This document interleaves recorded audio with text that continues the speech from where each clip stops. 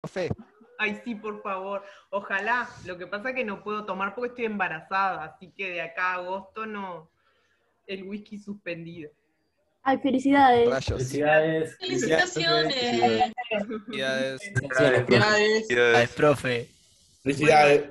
500 Entonces- felicidades, resumido. Entonces pañales, pañales para la profe. Arranco el, el- la clase, ¿tá? Breve repaso de los conceptos estudiados. Lo primero es que es una cota superior, es un número real. Un número real que es mayor o igual que todos los elementos del conjunto.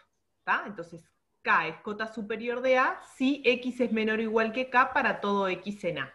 O sea que cualquier número que es mayor o igual que todos los elementos del conjunto A es una cota superior. Un máximo es una cota superior, un, real es máximo del subconjunto A si es cota superior, pero además pertenece al conjunto. Y el supremo es una cota superior, pero que además es menor o igual que cualquier otra cota superior. Y lo que dice el axioma de completitud es que todo subconjunto no vacío de números reales acotado superiormente tiene supremo. Entonces, a ver, dudas hasta acá de estos conceptos. ¿Cómo sería el de Supremo, profe? Que no entiendo. Está el supremo entonces. Tiene que ser cota superior, o sea, eso lo tiene que verificar. Cota superior, ¿qué quiere decir? Que tiene que ser más grande que todos los elementos del conjunto. ¿tá? Ahora, cotas superiores hay muchas. El supremo es único, tiene una propiedad especial. ¿Qué propiedad especial? Que cualquier otra cota superior es mayor o igual que el supremo. O sea que es la mínima de las cotas superiores. Yo quería preguntar, el, el supremo, o sea, si hay máximo, sí o sí el máximo va a ser el mismo que el supremo. Eso es el, el lema que voy a demostrar. Mirá este lema que está acá abajo. Si M Ah, es perdón, el no, no. máximo, entonces M igual al supremo. Eso se verifica siempre, pero hay que demostrarlo, ¿está? Ya que estamos, demostramos eso. Fíjense, justamente lo que dice ese lema es, si M es el máximo del conjunto A, también es el supremo del conjunto A. Esta es la hipótesis, si M es el máximo, ¿cuál es la tesis? Bueno, que es igual al supremo. Acá vamos a demostrar. Una pregunta. Sí. ¿El Supremo nos lo da el conjunto o lo hallamos nosotros? Dado el conjunto, tú le podés encontrar el supremo. Si el conjunto está acotado superiormente, el axioma de completitud lo que te dice es que el supremo existe. Vos después tenés que ver cuál es, eso depende del conjunto. Ok. Bueno, entonces, si M Ah, es- profe, una duda rápida nada más. sí, Ah, usted va a subir las notas después, ¿no? sí, siempre subo las notas y subo el video. Dale, gracias. Bueno, lema. Si M es el máximo, entonces también es el supremo. ¿tá? Bueno, entonces la demostración es así. Si M es el máximo de A, entonces M pertenece al conjunto. ¿Eso por qué? Porque es parte de la definición de máximo, que es una cota superior que pertenece al conjunto. Bueno, pero entonces tiene que ser menor igual que el supremo. ¿Por qué? Porque el supremo es cota superior, o sea que es mayor o igual que todos los elementos del conjunto. ¿Entienden? Por definición de supremo, el supremo es cota superior, por lo tanto es mayor o igual que todos los elementos del conjunto. Y como el máximo está en el conjunto, se obtiene esta desigualdad. M menor o igual que S. Ahora, ¿qué pasa? Si M es el máximo, también tenemos que tener que es mayor o igual que el supremo. ¿Por qué? Porque M es cota superior y el supremo es la menor de todas las cotas superiores. Entonces, si yo junto esta desigualdad con esta desigualdad, obtengo la tesis que es que son iguales. El supremo y el una consulta. Sí. Ahí en el segundo sí. ¿No sería si ese es supremo de A? No. Yo lo que digo, yo Porque quiero estás diciendo que dos veces lo mismo. Sí, es que máximo, el máximo tiene dos propiedades, es cota superior y además pertenece al conjunto. en la primera implicancia usé que pertenece al conjunto y en la segunda implicancia usé que es cota superior. Usé Acá dos propiedades del máximo. ¿Está bien? Sí, sí, gracias. Está, entonces, eh, a ver más dudas de esta demostración.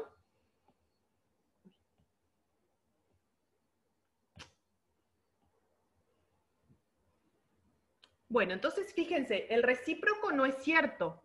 O sea, puede ser un elemento el supremo de un conjunto y no ser máximo. Entonces, observación.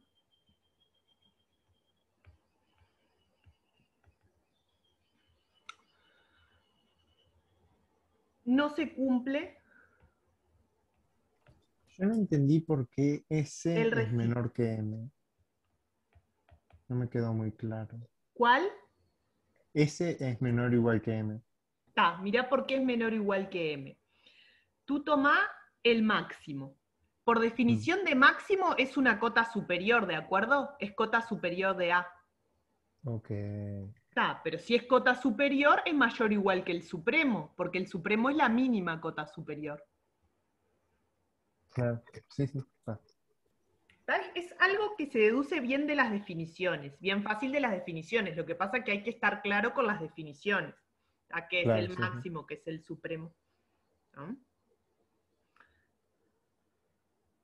Bueno, entonces, ¿por qué no se cumple el recíproco? Porque fíjense, si yo considero, por ejemplo, el conjunto de los x que son mayores o iguales que 0 y menor estricto que 1, entonces el supremo de A es 1 y A no tiene máximo.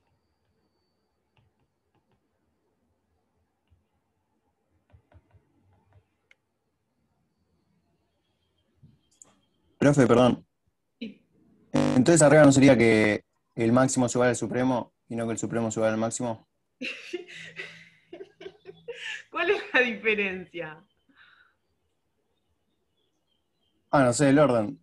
No, el, En la, en la igualdad el no máximo importa el igual orden. al supremo.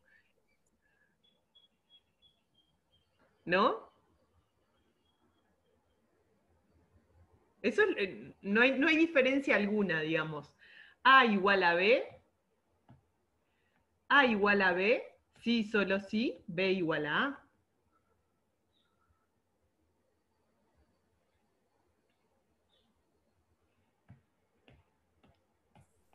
¿Y por, y Bueno. por qué no tiene máximo? eh, Bueno, conjunto? ta, va- voy a probar las dos afirmaciones, ¿está? Voy a probar que el 1 es supremo, tampoco es obvio que el 1 sea el supremo, y que no tiene máximo, ¿está? Las dos cosas voy a probar. Entonces, eh, ¿por qué?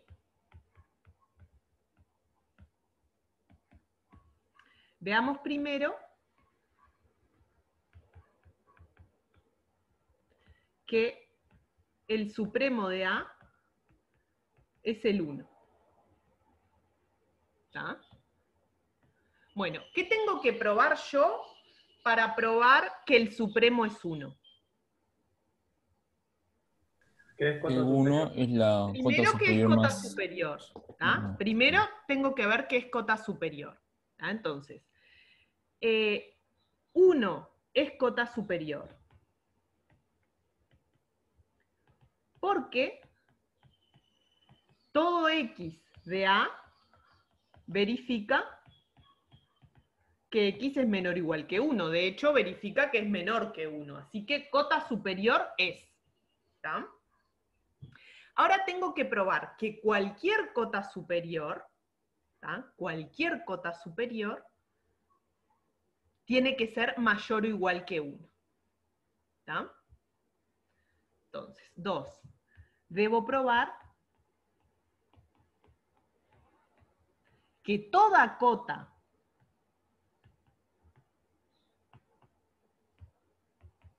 superior de A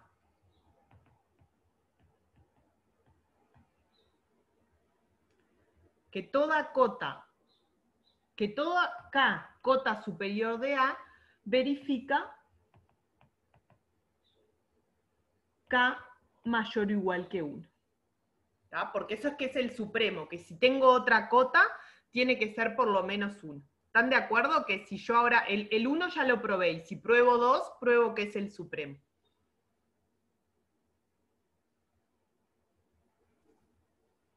Profe, en el 1 no tendría que ser x menor que 1, no menor igual. Pero la definición de cota es que sea menor o igual que la cota para todo x. En este caso, como es menor que 1 en particular, es menor o igual. O sea, ser menor también implica ser menor o igual. Ah, ok, dale, gracias. Tiene que ser menor igual porque el, su, el, su, el, su- el supremo es, ah, está dentro del conjunto siempre. Ah, no siempre. Pero puede estar. Entonces tiene que ser En igual. este caso está. Vos observá que en este caso lo que queremos probar es que el supremo es 1 y además queremos probar que no tiene máximo. ¿Está? Pero por ahora estamos probando que el supremo es 1. ¿Está? Entonces voy a probar esto, que toda acá, cota superior, tiene que ser mayor que 1. Voy a copiar el conjunto acá para que eh, lo visualicemos.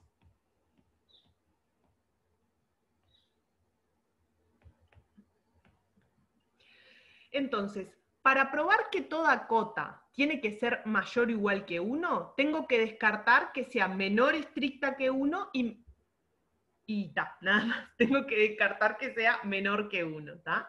Entonces, eh, supongamos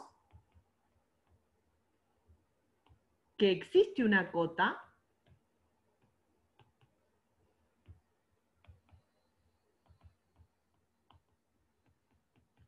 que es menor estricto que 1.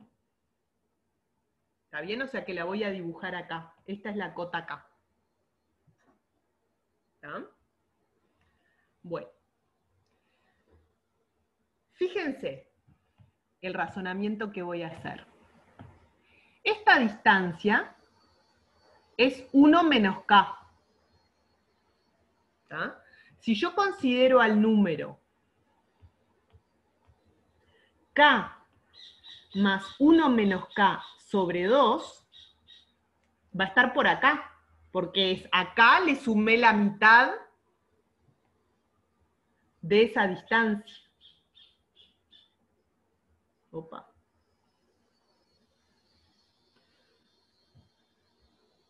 ¿Entienden? Observar que k más 1 menos k sobre 2 es mayor a 0. Esperen que lo voy a correr un poquito.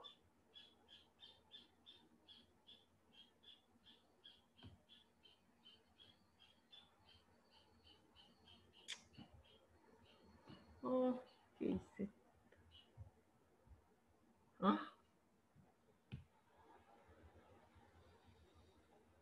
Bueno, observar que este número de acá es mayor o igual que 0 y es menor estricto que 1. Profe, ahí estamos suponiendo por absurdo. Claro, claro, claro. Yo para probar que es el supremo tengo que probar que es la menor cota superior, o sea que si hay otra cota superior, tiene que ser mayor o igual que 1. Supongo por absurdo que existe una que es menor estricto que 1. ¿Está? Pero agarro y tomo este número, k más 1 menos k sobre 2. Entonces, ¿qué pasa? Como es mayor o igual a 0 y menor estricto que 1, ese número, k más 1 menos k sobre 2, está en A. Pero además que verifica que k más 1 menos k sobre 2 es mayor que k. Porque es k más un número positivo. Pero esto es absurdo entonces. Absurdo. ¿Por qué? Porque estábamos suponiendo que k era cota superior. Y encontré un elemento de A que es más grande que k. Pues encontré un elemento de A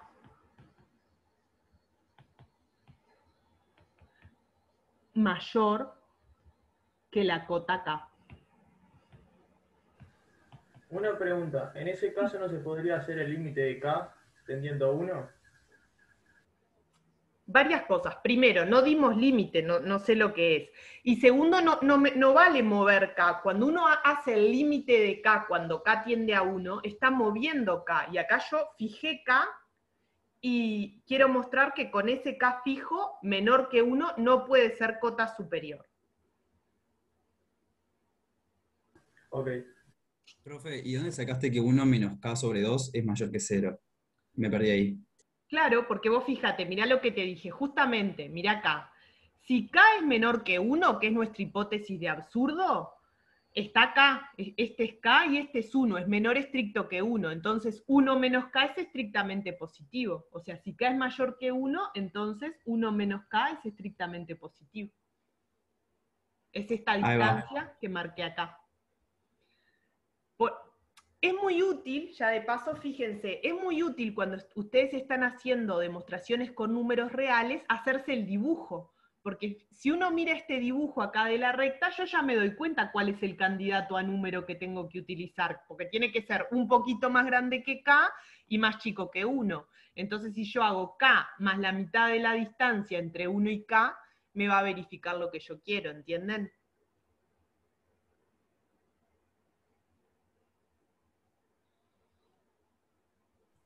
Profe, una pregunta. Pregunten. ¿El supremo puede ser menor que el máximo? No, porque vimos, acabamos de demostrar. Pero arriba de pusiste demostrar- eso, en el, que ahora me- que me fijo arriba pusiste eso. Mira, acabamos de demostrar que si tiene máximo es igual al supremo. O sea que no puede ser menor que el máximo. Ah, entonces porque ahí dice, si m es igual al máximo de a, entonces el supremo es menor o igual que m. Ah, pero una cosa es menor y otra cosa es menor o igual. Cuando un número es igual a otro, también es menor o igual. Porque menor o igual abarca la posibilidad de que sean iguales. Total.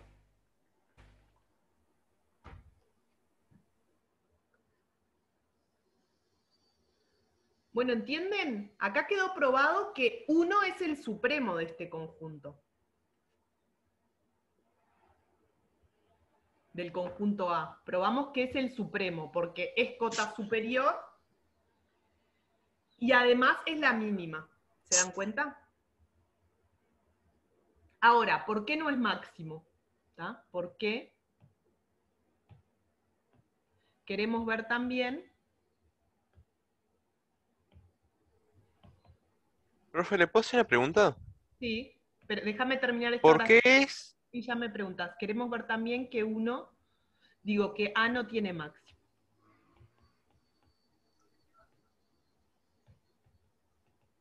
Ah, dígame. Pregunta. ¿Por qué es 1 menos k sobre 2? Claro, porque vos fíjate. 1 menos K es esta distancia que está acá. Esa es 1 menos K, ¿te das cuenta? Es, es ese- Sí. la distancia de ese segmento. ¿Está bien? Sí.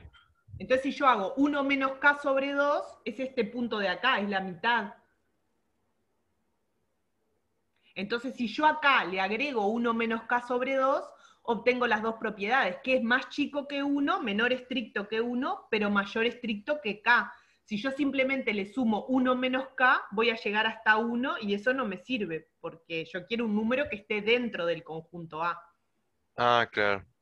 De hecho, podría haber elegido cualquier K más 1 menos K sobre algo. Cualquier número de esta manera me sirve porque es un poquito más grande que K, pero no llegó a 1.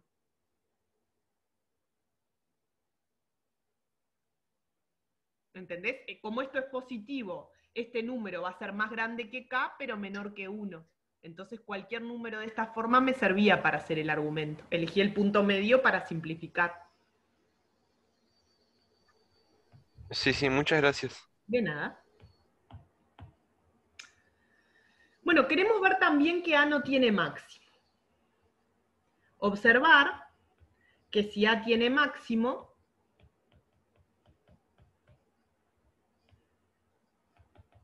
entonces el máximo de A, ¿cuánto tiene que valer?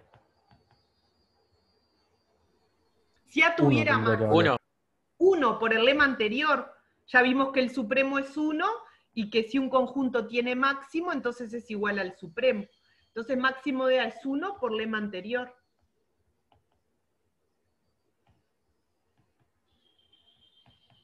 Pero ¿por qué uno no puede ser máximo de A? Porque no está en el conjunto. Excelente.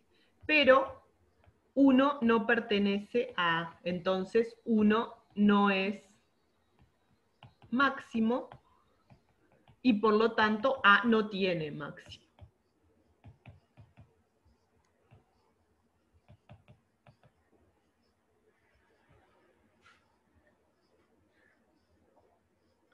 Entonces ese es el, esa es la cosa entre el máximo y el supremo. Si un conjunto tiene máximo, entonces el máximo es el supremo.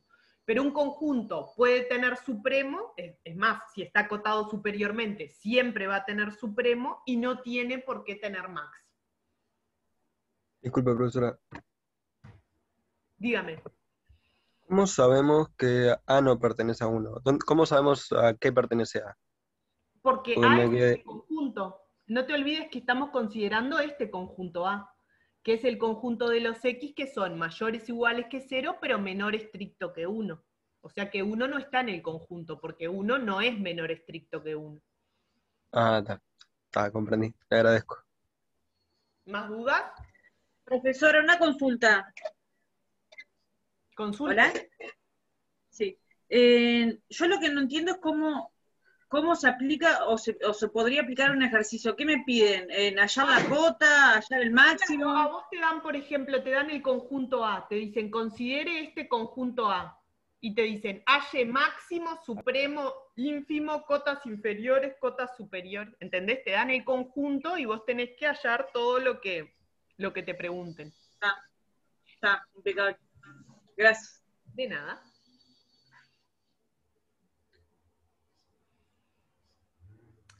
Digamos, voy a ir un poco más, siguiendo con este razonamiento. En general,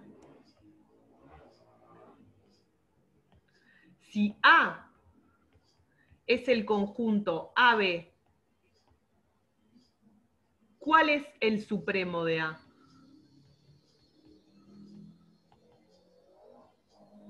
B. B. El supremo de A es B. ¿Y el máximo de A? No tiene. No tiene. No existe. Y si A es el intervalo AB, ¿cuál es el supremo? B. B. B. ¿Y el máximo? B. B. Perfecto. Eso, o sea, se demuestra exactamente igual que para el 0,1, ¿está? De- eh, demostración.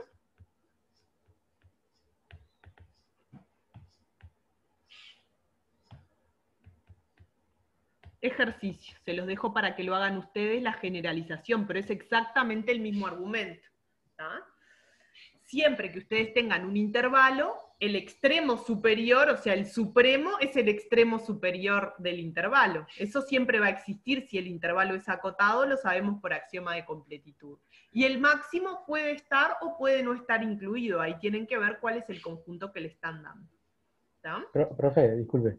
Sí. Eh, podría, sé que ya lo dijo, pero podría repetir eh, cuál era la diferencia entre el paréntesis curvo y el paréntesis recto.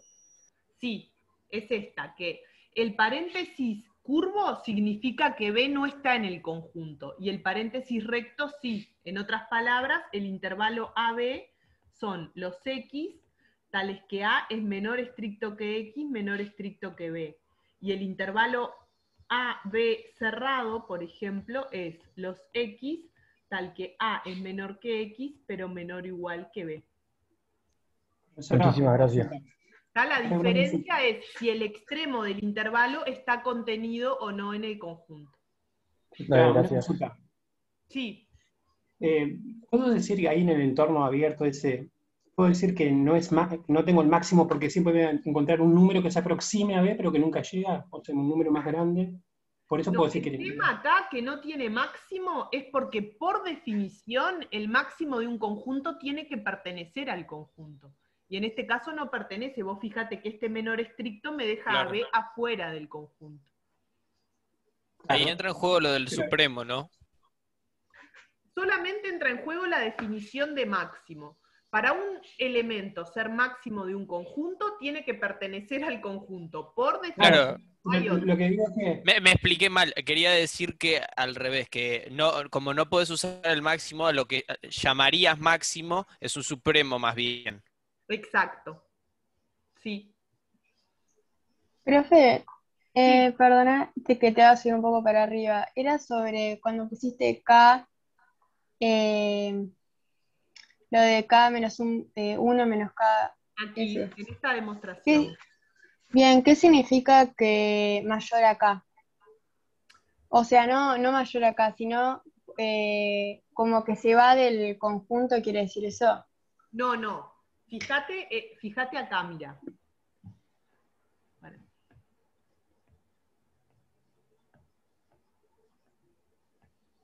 Fíjate este dibujo, ¿está? Son los números reales, estoy mirando acá. Son los números reales y tenés el 0, el 1 y un número K que es mayor estricto que 0 y menor estricto que K. Ese número K está en el conjunto, está en el conjunto A, porque es mayor o igual que 0 y menor estricto que 1. ¿Entendés? Ah, claro. Sí, sí. Ese está en el conjunto. El tema es que esta cantidad de acá, 1 menos k, que es la longitud de ese intervalo que te marqué, el intervalo que está entre k y 1 mide 1 menos k. Ese numerito, 1 menos k, es estrictamente positivo, porque justamente k es menor estricto que 1. Entonces, si yo al número k le sumo un número estrictamente positivo, me va a dar mayor estricto que k, porque es k más algo estrictamente positivo.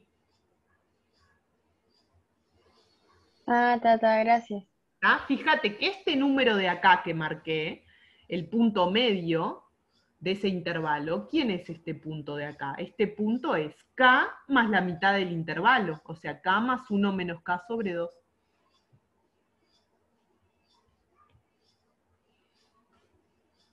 ¿Se entiende? Sí, sí, o sea que se cumple, que K más eh, lo de más lo de mayor a K se cumpliría, pero está por absurdo, entonces no. Claro, bárbaro. En general, ya que me, me hacen esta pregunta y también les va a servir para el ejercicio, fíjense esto, que en general, si vos tenés acá A y B, ¿tá? vos el, el punto medio del intervalo AB se escribe como A más B menos A sobre 2. ¿tá? Eso eh, vale siempre.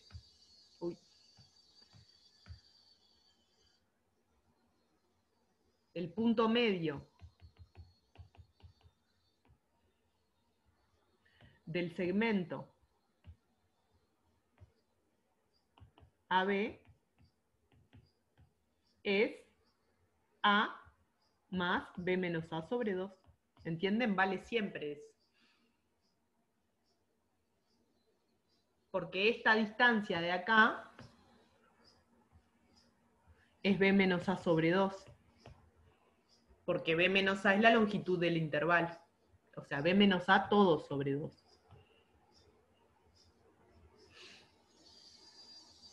Entonces, si yo a A le sumo la mitad del intervalo, me va a dar el punto medio entre A y B. ¿Se entiende? Esto vale para todo A y B en R.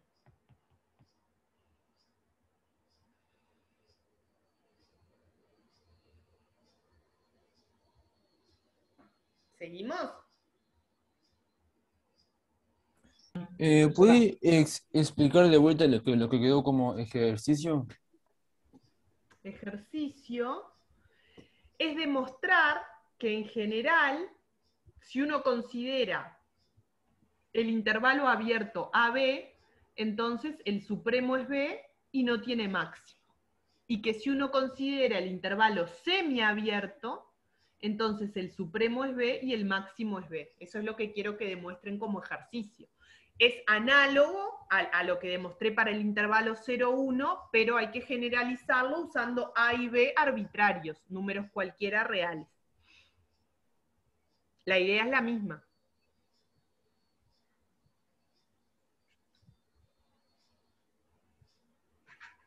Pero si demuestran esto, ¿qué ventaja tiene? Que cada vez que le pregunten el supremo de un intervalo, ya lo saben. El supremo siempre es el extremo superior del intervalo.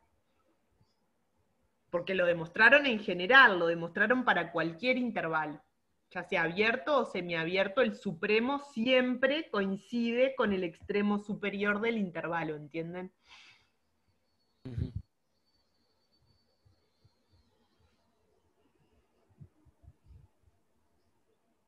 Seguimos. Les voy a hablar de lo que se llama la propiedad fundamental del supremo. Y es fundamental, ¿por qué? Porque sirve para todo. Propiedad fundamental. Profe, ¿puedes subir un segundito? Solo lo último que había puesto. No necesitaba ni siquiera dejar de escribir.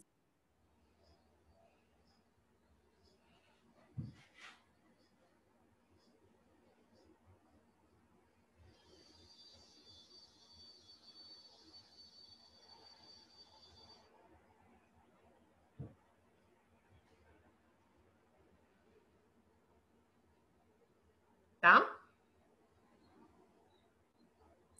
Sí, está pronto. Bueno, propiedad fundamental del supremo.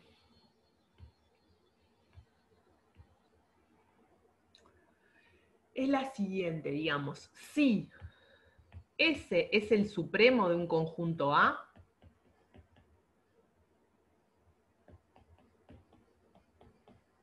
entonces, para todo epsilon positivo, existe un X en A tal que S menos epsilon es menor estricto que X.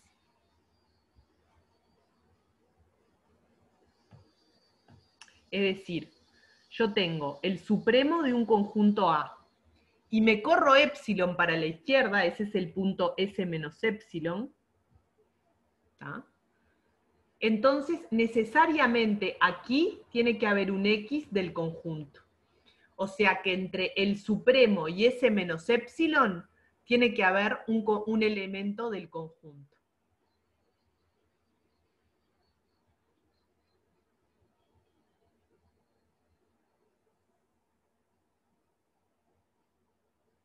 Pero no puede haber un epsilon que sea mayor y que se, digamos, te vayas del conjunto.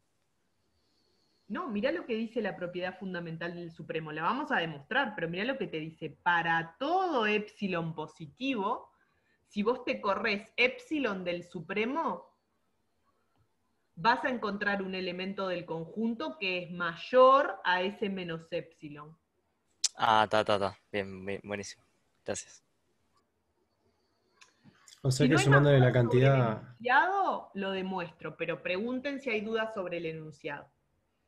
O sea que sumándole la cantidad más chica, incluso, incluso la cantidad más chica positiva, ya mandás al S menos epsilon dentro del conjunto A. No, no es que el S menos epsilon esté en A. Ojo, hay un X de A que es mayor estricto que S menos epsilon. No quiere decir que S menos Mm. epsilon esté en A. Claro, claro. ¿tá? Y Profe, si el epsilon es... Eso que dijiste, la cantidad más chica posible no existe. Está el cero y después los números positivos, pero no hay una cantidad que es la más chica positiva. No, no, me refería a que no importa qué tan chica sea la Ah, cantidad. sí, sí, no importa qué tan chica, está bien. Dele, sigan más preguntas. Y si epsilon es el máximo. Eh, O sea, no puede ser el máximo, ¿no? Cuidado, cuidado con lo que estás diciendo. Acá es para todo epsilon. Epsilon no es nadie, no es el máximo, no es 4, no es 25, es cualquiera. Cualquier cantidad positiva que vos te tomes va a verificar esta propiedad. Cualquiera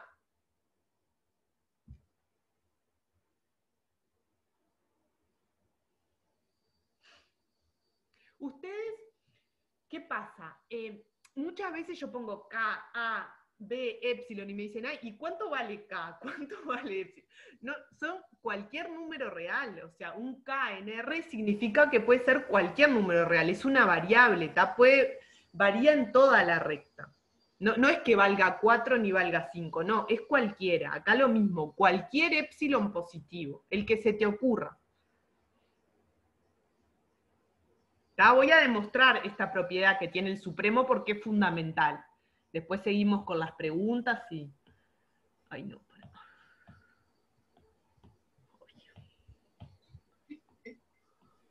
Profe, ¿te animás a explicarla de vuelta una vez más antes de demostrarla? ¿Cómo no? ¿Cómo no? Una vez más y la demuestro. Es, dice así la propiedad. Supongamos que tenemos el supremo de un conjunto A. Le llamo S. ¿tá? Entonces, ¿cuál es la propiedad que tiene el supremo? Esta propiedad que es fundamental es la siguiente, que para todo epsilon positivo existe un elemento del conjunto, del conjunto del cual es supremo, ¿no?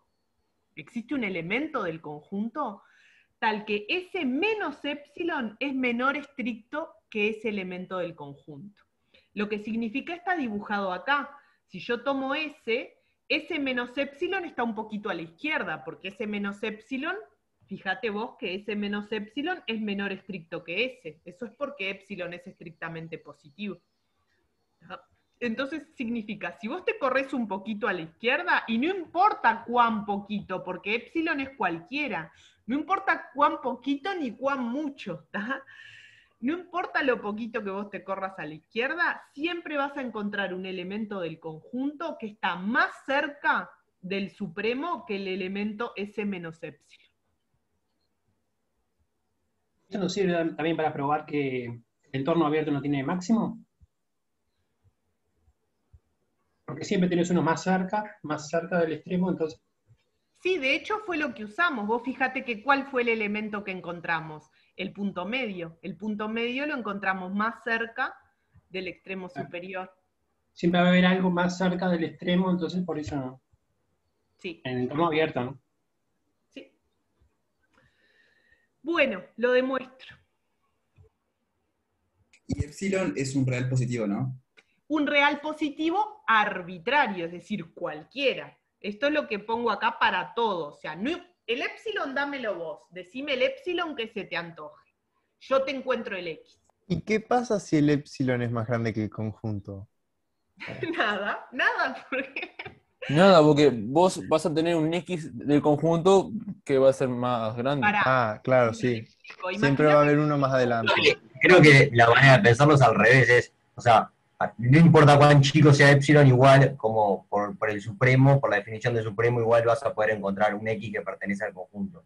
Sí, sí, pero no, preguntaba solo por curiosidad nomás, a ver qué pasaba. O sea, si vos Si el tenés el conjunto gigante, 1, 2, 3, 4 y estás fácil, 5000, Mirá, ¿Puedo puedo contestar qué pasa si el epsilon es grande? Si el conjunto es el 0,1, por ejemplo, y vos tomás epsilon igual 20, ¿tá? el supremo es 1 y te estás corriendo claro, 20 se va a pasar para el otro lado. allá. O sea que Sí, obviamente va a haber uno igual adelante. que están más cerca que el supremo. ¿Tá? Está, buenas. O sea que para epsilon gigante es fácil, grande, para epsilon grande es fácil. El tema es para epsilon chiquitos, bien cerca del supremo. ¿tá? Entonces, demostración. Entonces, lo, repito acá lo que queremos probar porque no se ve ya. Entonces, queremos ver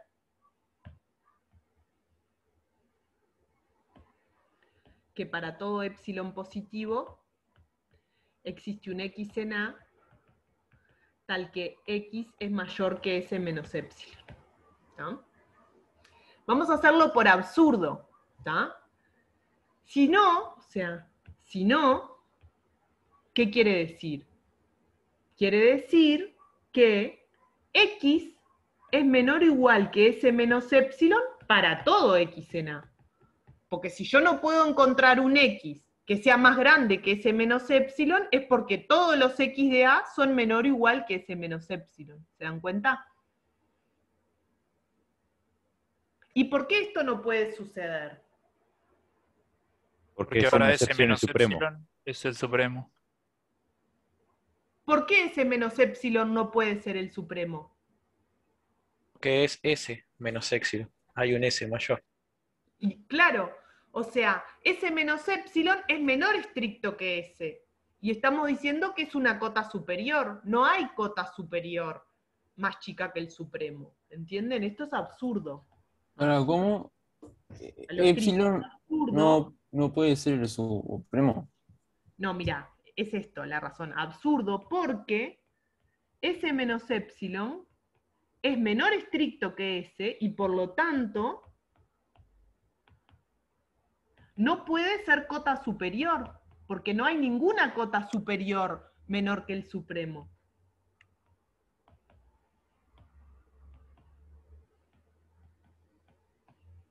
Vos fíjate que acá lo que estamos diciendo es exactamente que es cota superior de A, que ese menos epsilon es cota superior de A. Eso no puede pasar. Esto ya termina la demostración, o sea, es directo de la definición de supremo.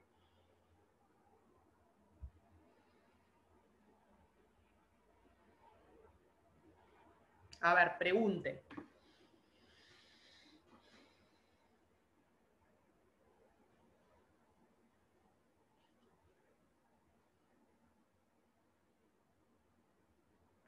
Ahí ya quedó. Y ya quedó.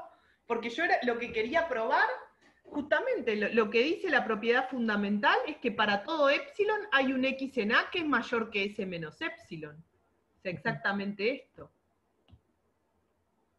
¿Está bien? Y lo hacemos por absurdo. Si no, si no pasa que hay un x en A que es mayor que S menos epsilon, quiere decir que para todo x en A son menores que S menos epsilon, menor o igual. Claro, sí. Absurdo. ¿tá? Es, di- es directo de la definición, ¿tá? pero ahora, ahora vamos a ver qué implica mirarlo de esa manera. ¿tá? Más Profe. dudas sobre la demostración, sí. ¿Y esto para qué serviría? Ah, para mucho. Ahora vamos a ver una consecuencia de esto, pero para mucho, ¿tá? Es re útil, es como decía recién, por ejemplo, para probar que uno es el supremo del 0,1 sirve, porque te corres un poquito y encontrás otro elemento. Entonces, correrte un poquito no sirve de cota superior, que es lo que, lo que tuvimos que probar para probar que uno era el supremo.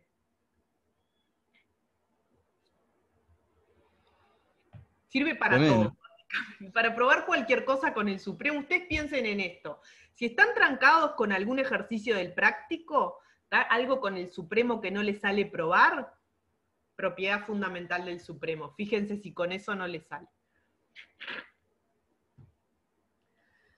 Bueno, observación. Miren qué, podemos deducir de esto. Observación. Eh, supongamos que ese es el supremo de un conjunto A.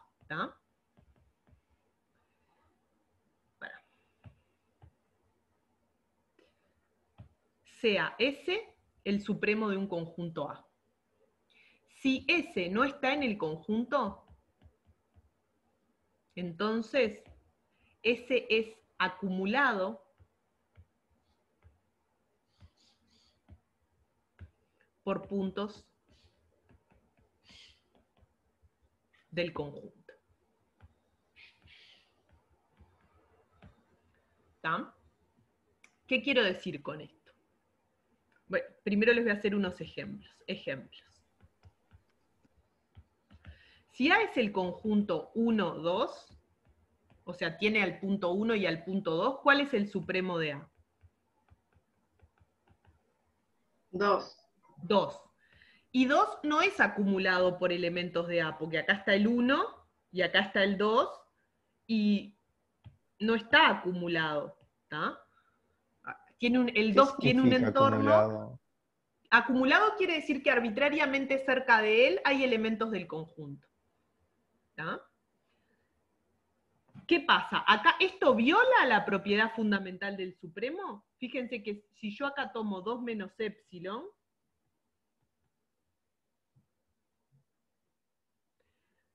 ¿esto va en contra de la propiedad fundamental del supremo? No, ¿Por qué? porque el supremo sigue siendo 2 y 2 menos epsilon es menor que 2. Ah, pero digo, yo me corrí. gana de mandar al chat que viaje a ir a la UTO, imagínate eso, Fasco. Estás desmotivado, amigo. el- el- la propiedad fundamental lo que dice es, si yo me corro epsilon, tengo que encontrar un elemento del conjunto que es mayor que 2 menos epsilon. En este caso, ¿cuál es el elemento? Todo Mismo lo que dos. El 2. Este es el X. Y el 2 no está acumulado. El 2 no está acumulado por elementos de A.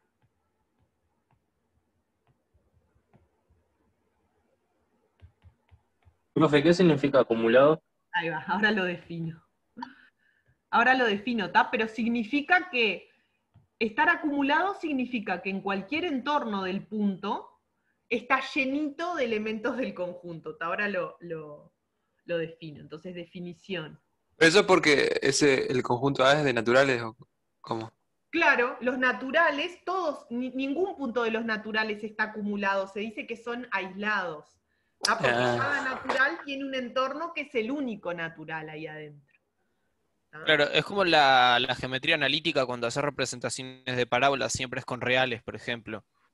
No lo haces con natural que harían puntos separados. Exacto. El Esa es la diferencia entre el continuo, que es R, y algo discreto, que es los naturales.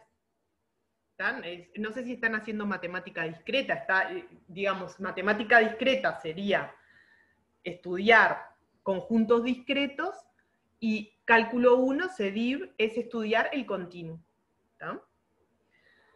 Bueno, pero entonces, ¿cuándo un elemento está acumulado por elementos del conjunto? Entonces decimos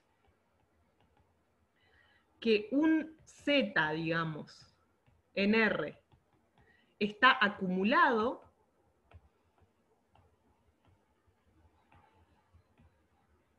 por el conjunto A,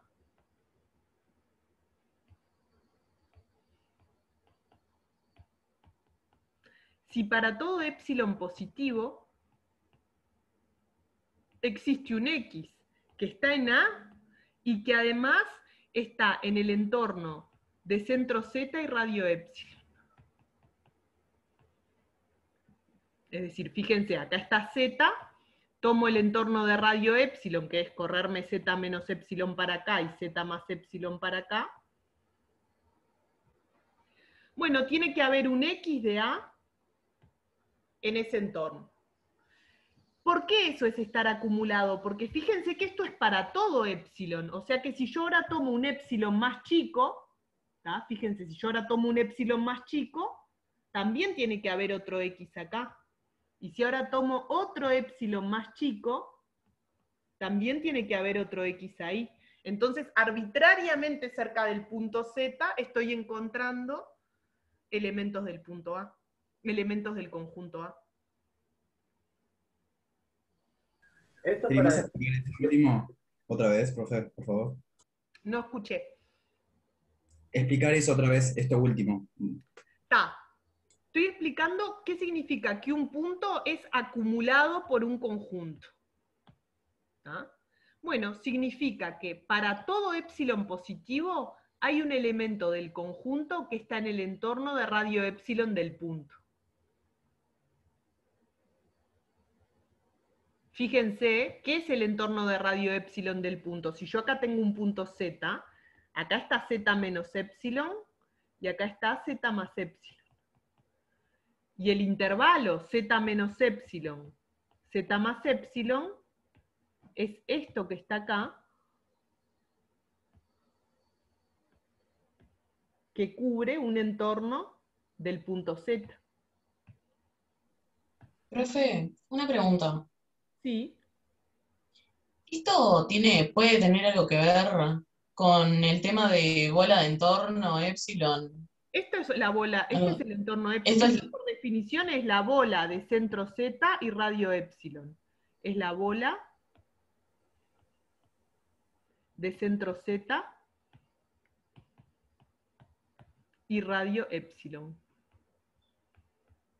¿Con bola te referís a circunferencia o a qué?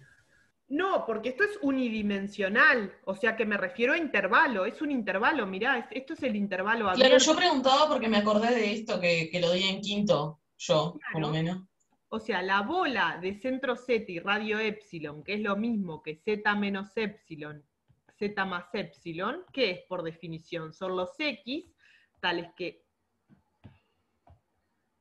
El concepto de bola se ve en cálculo 2, ¿no? Z menos epsilon, y si lo estamos viendo acá, Z menos epsilon menor que X menor que Z más epsilon. Esto es la bola.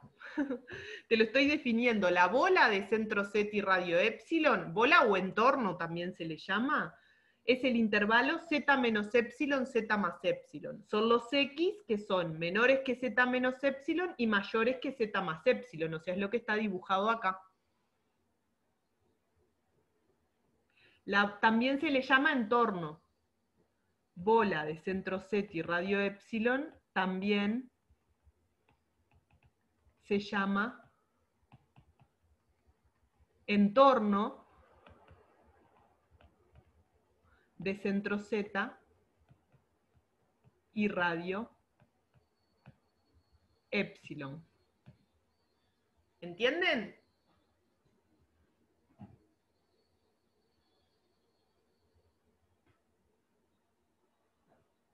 En Sí. definitiva, ¿qué es entonces que un punto eh, conclusión? Z está acumulado por A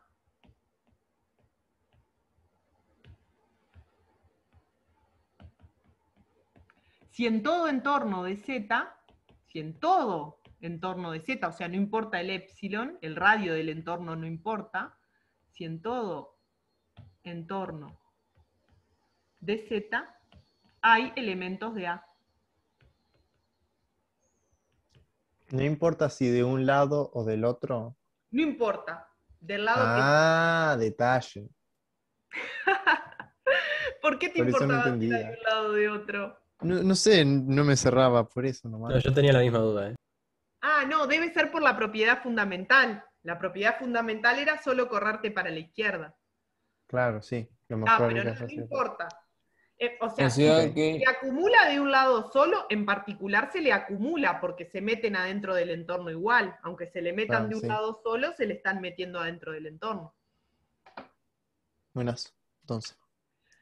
Profe, entonces puede ser que de un lado no hayan elementos del conjunto. Sí, mira, como por ejemplo acá, mira cómo empezó todo esto. Empezamos a hablar de esto por esta observación que yo quería demostrar, que ahora, lo, ahora la voy a copiar para demostrar, copiar.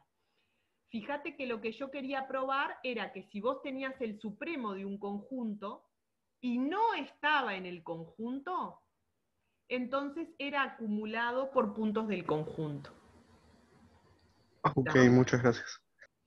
Pero en el caso del Supremo solo se le pueden acumular de un lado, porque del Sí, otro sí. no pueden porque no hay elementos del conjunto más grande que él. Y si es parte del, con- del conjunto, puede que no se le acumulen el, el- No, elementos. claro, mira, como, como te digo acá, en el ejemplo que hice, en el 2, en el punto 2, en el, en el conjunto 1, 2, el 2 está en el conjunto, pero es el único elemento del conjunto, o sea, no está lleno de puntos el entorno. ¿Viste? No está llenito de puntos el entorno acá. Lo que quiero decir por acumulado es que en todo entorno hay elementos del conjunto, ah, pará, detalle, que no sean el punto, o sea, que no sean el propio z, o sea, existe x en A intersección z menos epsilon, z más epsilon, menos el punto z. Sería el entorno reducido de Z. Claro, en el entorno reducido. Ta, Eso es lo que quiero decir que se le acumulan. Vos, vos fijate. Entonces, si eh, yo tengo el supremo del conjunto A, voy a pegar acá lo que quería probar.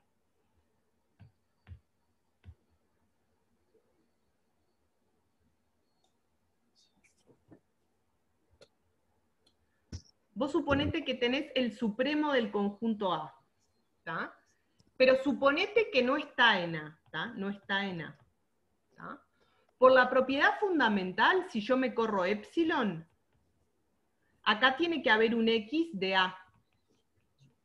Pero como el supremo no está en A, yo estoy segurísima que este X es distinto del supremo. Entonces, ¿ahora qué hago? Me tomo otro epsilon más pequeño, o sea, ese menos epsilon sobre 2, por ejemplo. Bueno, acá también tiene que haber un punto de A y también va a ser distinto del supremo. Pero ahora me tomo otro entorno más chico. Entonces me le voy acumulando al supremo. Es- eso es la- esa es la idea, ¿entienden? Si este es el supremo,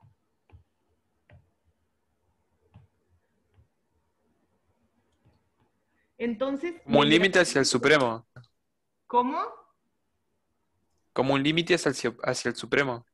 Sí, como un límite. No quiero hablar de límite sin definirlo, pero es que- quiere decir que hay puntos del conjunto arbitrariamente cerca del supremo.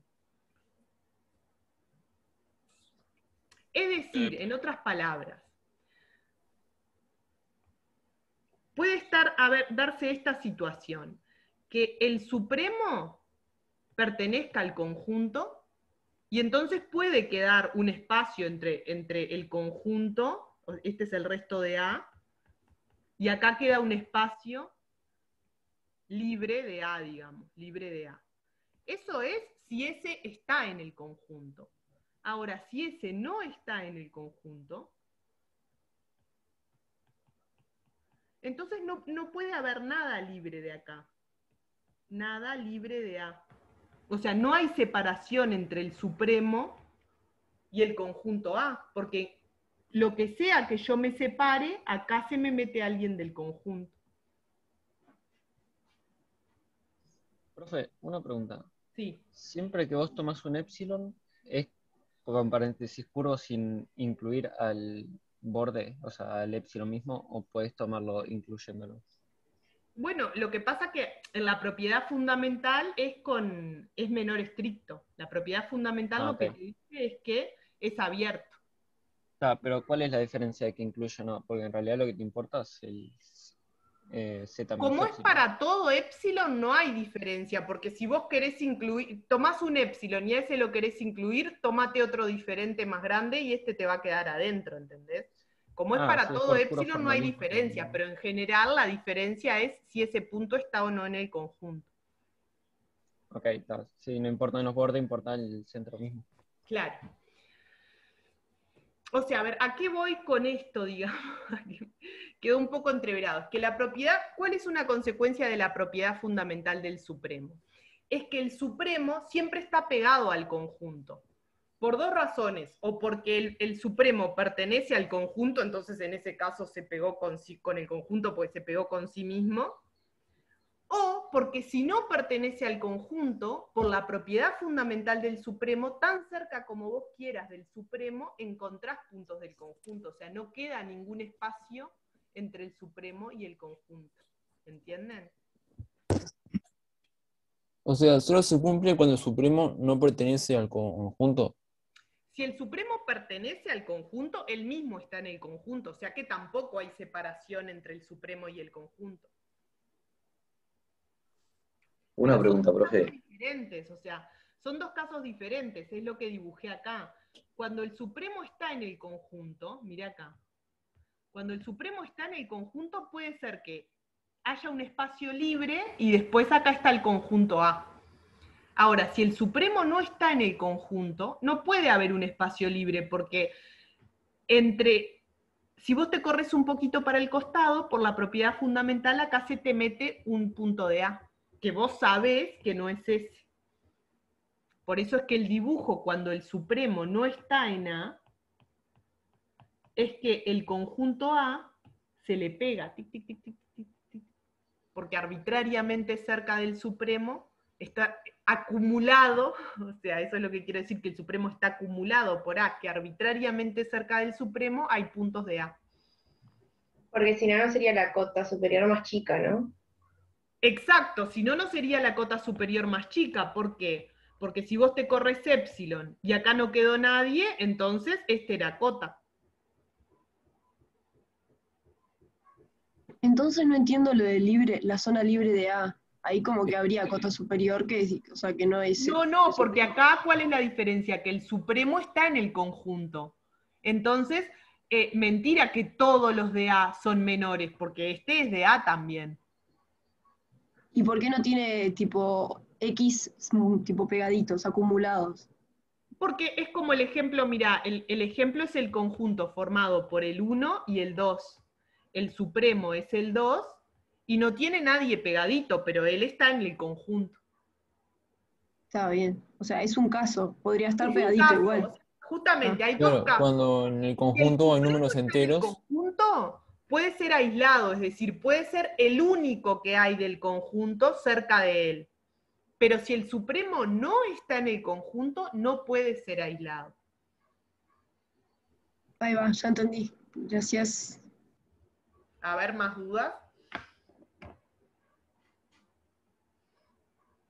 o sea, solo hay espacios cuando es un conjunto de enteros, porque ahí es la única forma en la que haya un... Mirá, te, puedo, te hago otro conjunto, mira. Si A es el intervalo 0,1, unión el 3. ¿tá? O sea que tenés el 3, acá tenés el 0, el 1, y el conjunto A tiene todo esto y también tiene este punto. No es un conjunto de enteros, pero el supremo es el 3 y está aislado, o sea, es el único elemento del conjunto que hay en un entorno de él. Ese ejemplo me solucionó cinco dudas existenciales, profe. Gracias. Concuerdo. Este último ejemplo vendría a ser el del espacio libre de arriba que no, que no pertenece. Exacto, acá quedó un espacio libre, fíjate, acá quedó algo que está libre de A. Entre el 1 y el 3. Claro, entre el 1 y el 3 hay un espacio libre de A. Pero eso Bien. ¿por qué pasa? Porque el 3 está en el conjunto. ¿tá? O sea, porque el supremo está en el conjunto. Porque si el supremo no está en el conjunto, eso es lo que la observación que quería, que quería hacer desde hoy, que si el supremo no está en el conjunto, entonces es acumulado por puntos del conjunto, no pueden quedar espacio libre. Y eso se deduce de la propiedad fundamental del supremo, porque por más que te corras un cachito, hay un elemento de- del conjunto. Correte menos, hay otro, correte menos, hay otro. Y como el supremo no es ese otro que está apareciendo, hay infinitos elementos de A. Voy a anotar esa conclusión, que hay infinitos en realidad. Conclusión, sea S el supremo de un conjunto A. Si S no pertenece al conjunto A, entonces para todo epsilon positivo hay infinitos elementos de A en la bola de centro del supremo y radio epsilon. Entonces puede pasar que haya un, este, un espacio ese con el, con el epsilon en el que no haya nada. Como el de recién, en el, en el ejemplo puede de, pasar. de 3. En el ejemplo del 3 pasa, pero porque el 3 está en el conjunto. Acá estoy diciendo que el supremo no está en el conjunto. Si el supremo está en el conjunto, ahí no puedo afirmar que haya infinitos elementos del conjunto en todo entorno del supremo. Como vimos en el ejemplo anterior. Y si tenés un intervalo en el que solo hayan enteros, Está, ahí va. Ponele que tenemos el 1, el 2, el 3. El conjunto es el 1, 2 y 3. o sea, yo me refería a un intervalo. O sea, se puede Ah, hacer no, eso, pero, un, un pero no, intervalo. existe, no existe un intervalo en el que solo hayan enteros, porque la definición va. de intervalo AB es que son todos los X que están Ahí entre va. No podés decir solo los enteros.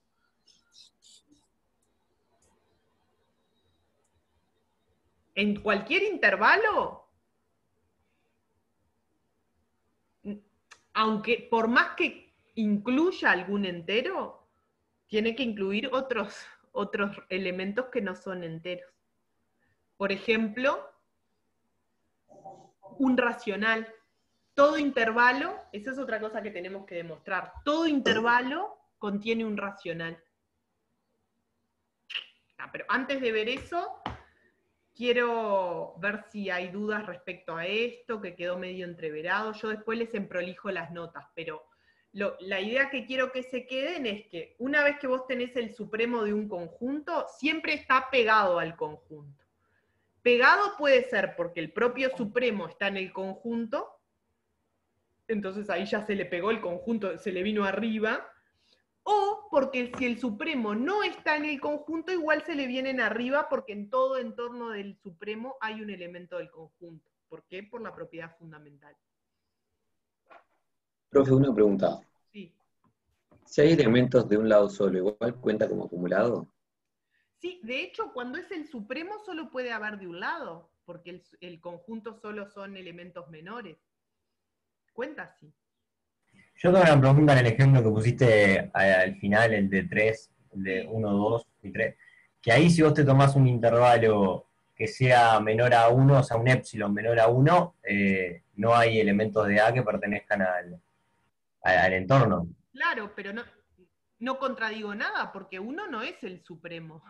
La No, no, yo digo, yo digo en el, en el anterior ejemplo.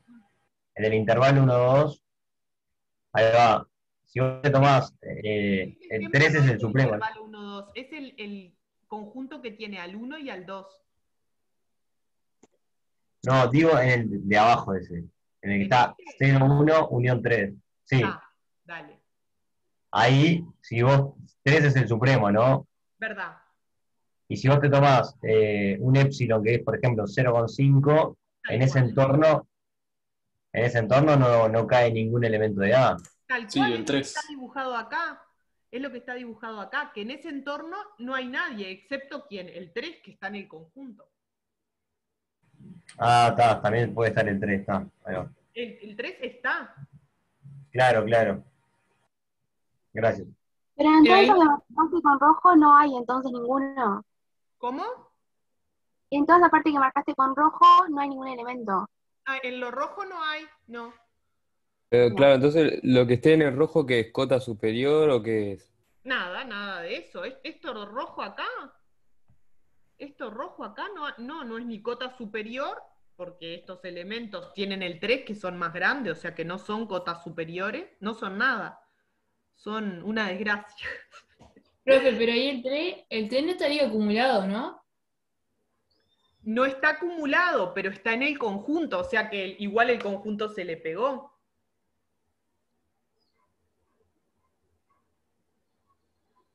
Para mí el 3 está aislado, ¿no? Está aislado. El punto 3 está aislado del conjunto, pero, tiene, pero él está en el conjunto. Ok, entonces es máximo. 3 es máximo, por supuesto, porque está en el conjunto y es cota superior.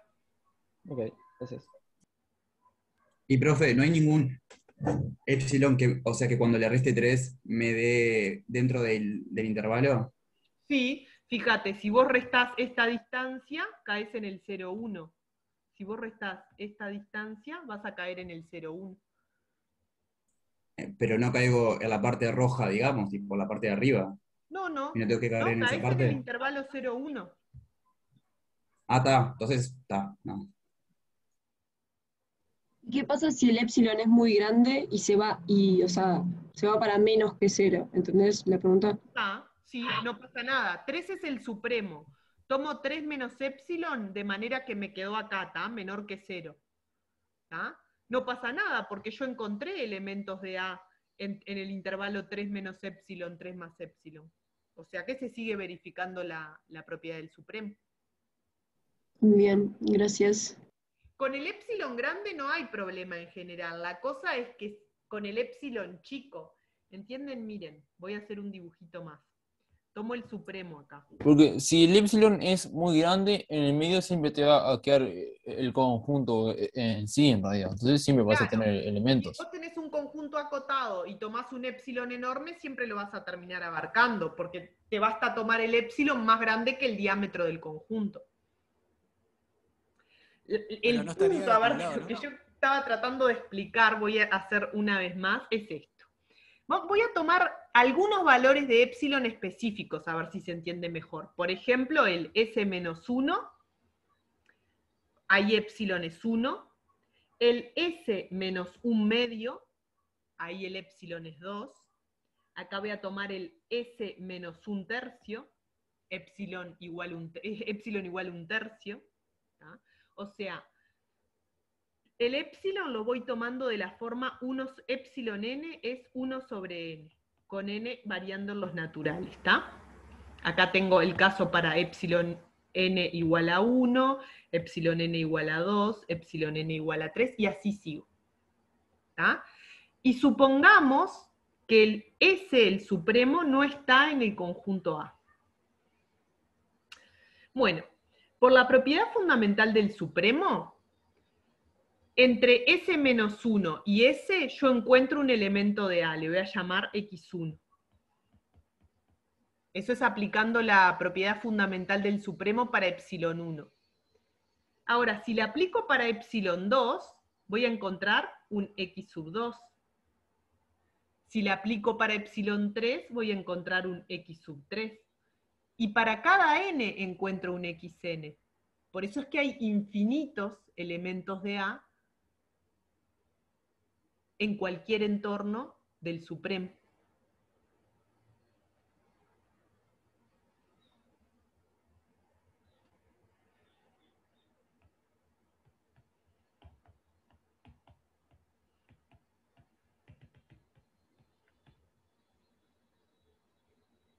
Esto es lo que me decían del límite. Acá, ¿qué es lo que están pensando? Bueno, que xn tiende a s cuando n tiende a infinito.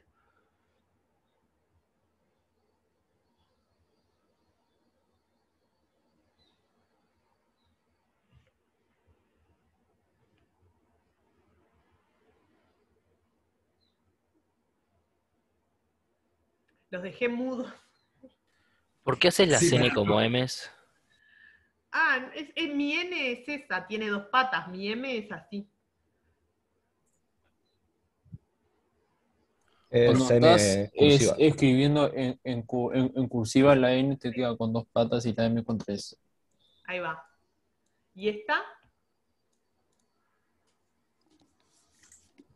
Son dos. M's o una M y una N, supongo. No sé. Eso sigue siendo una M. Bueno. Mudos, los dejé mudos.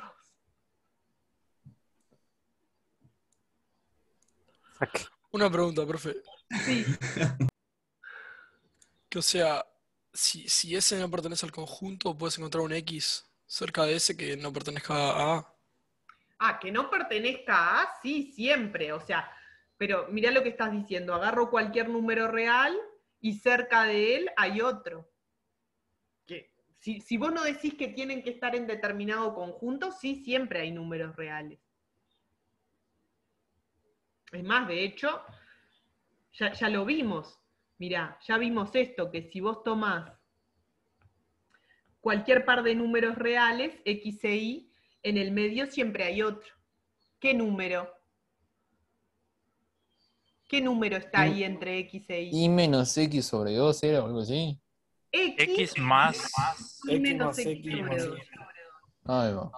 Entonces, entre dos números reales siempre hay otro, eso sí. O sea, el tema es que nosotros estamos diciendo que esos elementos están en un conjunto dado.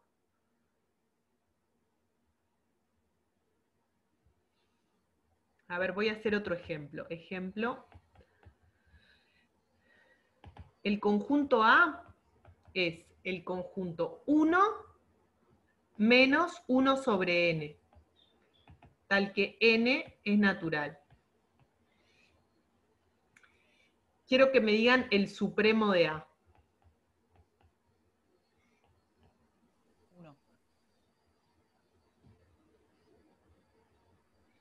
Uno. 1. ¿Y el máximo?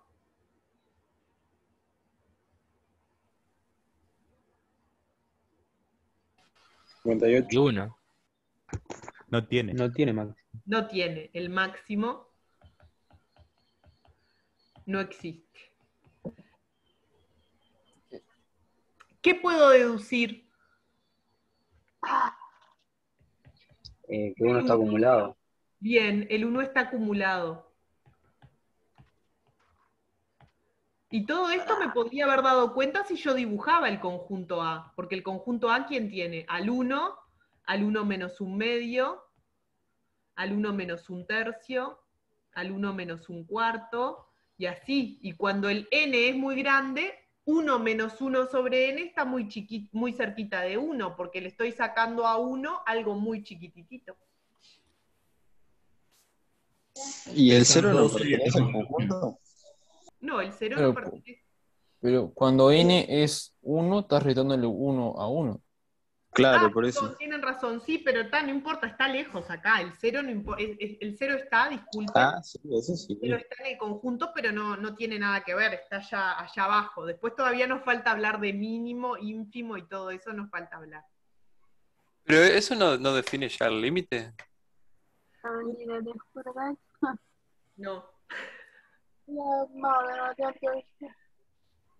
La definición de límite te- tenemos que ver si es límite de una sucesión o estamos hablando del límite de una función. Ahí hay que separar los conceptos. El límite de una sucesión, si vos tenés una sucesión xn que tiende a un límite, quiere decir que en todo entorno del límite hay un punto de la sucesión. O sea, en eso se parece.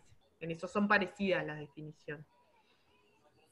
Pero no quiero ¿Puedes subir un poquito para, para la conclusión que, que sacaste antes? Un poquito más arriba, por favor. Claro, que si el va, supremo no pertenece al conjunto, en todo entorno del, eh, del supremo hay infinitos elementos de A.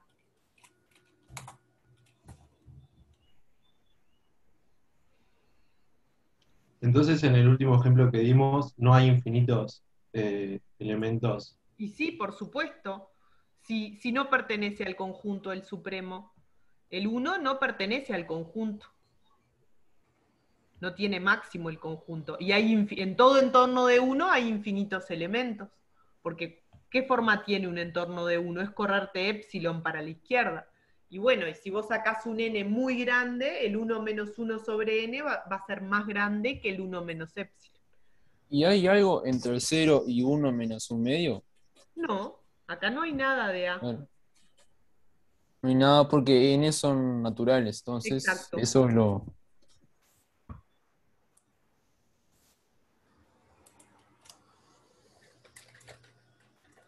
Profe, O sea, no tiene máximo porque siempre se va a estar acercando infinitamente a uno, ¿no? Y no tiene máximo por definición, porque ¿cuál es la definición de máximo? Que pertenezca al conjunto. Pero vos no podés escribir 1 como 1 menos 1 sobre n para ningún n. Porque 1 menos 1 sobre n es siempre menor estricto que 1. O sea, el 1 no está en el conjunto. Entonces no puede ser máximo, porque por definición de máximo tiene que estar en el conjunto.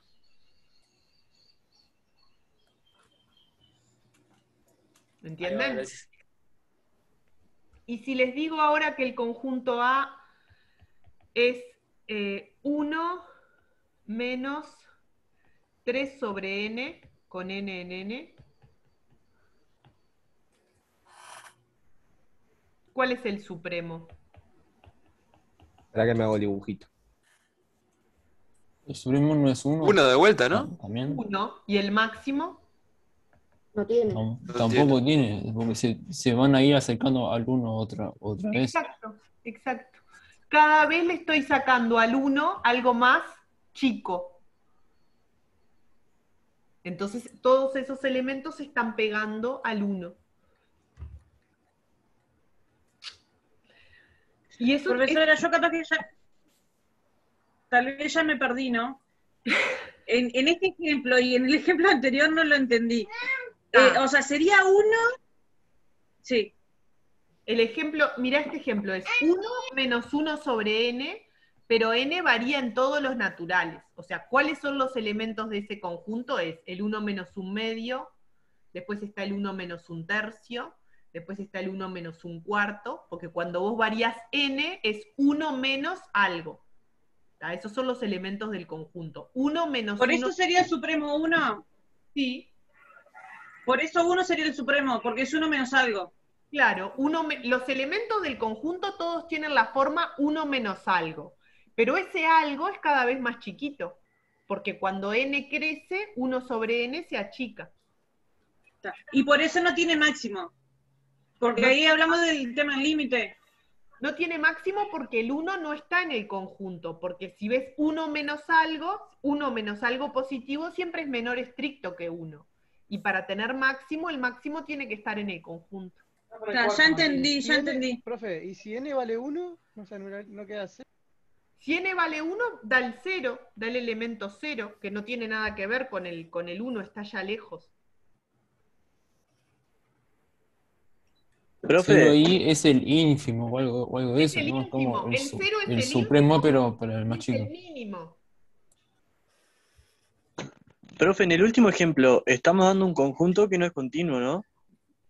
¿Qué significa que no es continuo? Que tiene huecos, no pertenece a los reales. Ah, Sí, sí, Y obviamente. claro, me has dicho que entre el 0 y el 1 menos un medio no hay nada. Sí, pero en el 1 menos 3 sobre n no está el 0, pero ¿quién está? ¿Quién es el mínimo del conjunto A? 1 menos 3 sobre 1, menos 2. Menos 2. ¿Está? Y no está cumpliendo el, el axioma 10. No verifica, claro, el conjunto A, este A no verifica, A no verifica axioma 10. Los naturales tampoco supremo. verifican el axioma 10. Los racionales tampoco verifican el axioma 10. Es solo R que verifica el axioma 10.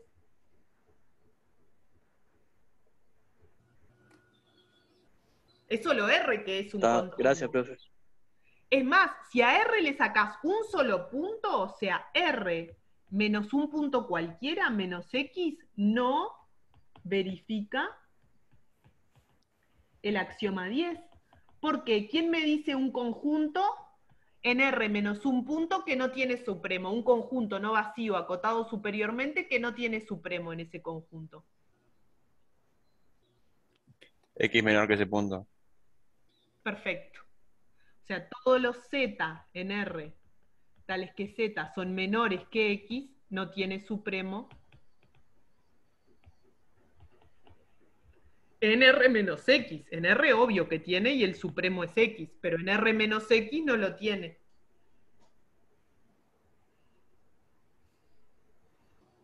No entendí esto de que no verifican el axioma 10. O sea, ¿no era que todo conjunto no, no vacío, acotado superiormente, tenía un supremo? Sí, pero en R. Tiene un supremo en R. O sea, todo subconjunto no vacío de números reales y acotado superiormente tiene supremo en R. ¿Está? Pero este tiene, o sea, es uno.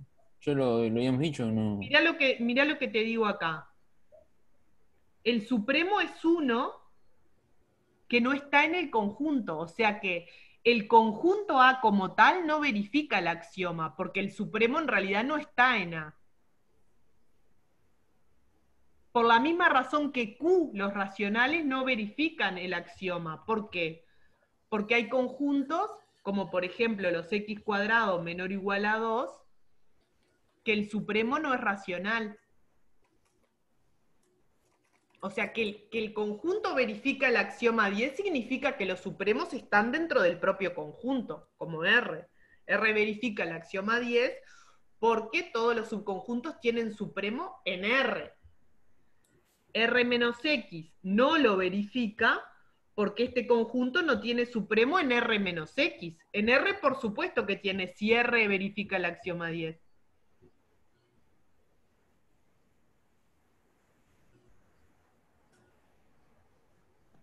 Y X no, no es el supremo de ahí. No, no podría ser el supremo. Claro, X es el supremo, pero X no pertenece al conjunto R menos X, ¿entendés?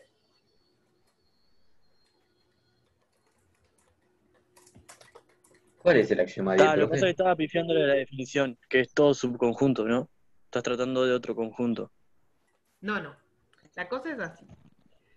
R verifica el axioma 10 por definición, digamos. Dijimos que el conjunto de números reales verifica el axioma, axioma puse, no, el axioma 10, porque todo subconjunto no vacío acotado superiormente tiene supremo. ¿En dónde? En R, en el conjunto que estamos hablando. O sea, R verifica el axioma 10 porque todo subconjunto tiene un supremo en ese conjunto que estamos hablando. Q no lo verifica. Porque si bien los conjuntos de Q, que son subconjuntos de R, tienen supremo en R, ese supremo no está en Q necesariamente.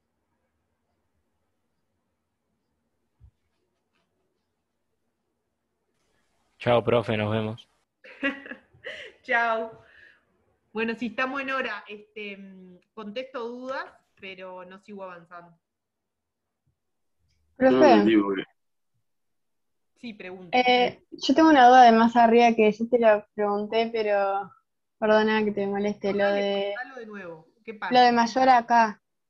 Eh, K, eh, K, Ya, ya bueno. sé dónde es, dónde. Por acá. Acá. Claro, ahí. Hmm. Que dice eh, donde K más 1 menos K sobre 2 es mayor a K. Sí, es mayor a K, pero no pasa el 1. Entonces, ¿se Es mayor entiende? acá, pero no pasa el 1, exactamente, ese es el punto. Entonces, ¿por qué es absurdo? Ah, porque acá mirá, lo que, mirá cuál es lo que estamos suponiendo. Supo- suponemos que K es cota superior. Para ser Sí. cota superior, tiene que ser mayor que todos los elementos del conjunto. Y estamos Ah, encontrando está, está. un elemento que es mayor que K y que está en el conjunto. Ah, ta, ta, ta, ta. Ahora sí entendí. Lo que dice acá, este elemento está en el conjunto. Sí, Y es mayor a K, entonces K no puede ser cota superior. claro. Ahora sí entendí. Gracias. De nada. Eh, profe, yo no entendí, porque no habíamos dicho que los supremos no siempre tienen que estar en los conjuntos. Sí, ¿verdad? O sea, y no entendí esto último que dijiste entonces. Yo me mareé con lo del, con lo del acumulado. ¿Qué pasa, chiquilines? Ustedes tienen subconjuntos de R. Un A, llamémosle A. Ese conjunto tiene un supremo en R. No tiene por qué estar en A. A es un subconjunto de R. ¿Tá? Todos los subconjuntos de R tienen supremos en R. Pero están en R, no tienen por qué estar en A. Sí. ¿Se entiende cuál es la diferencia?